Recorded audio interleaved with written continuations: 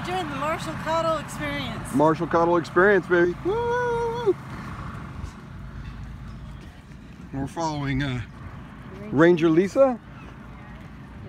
Out here, I think we're gonna go to uh, Uncle Monty's farm. So, this is Discovery Farm right here.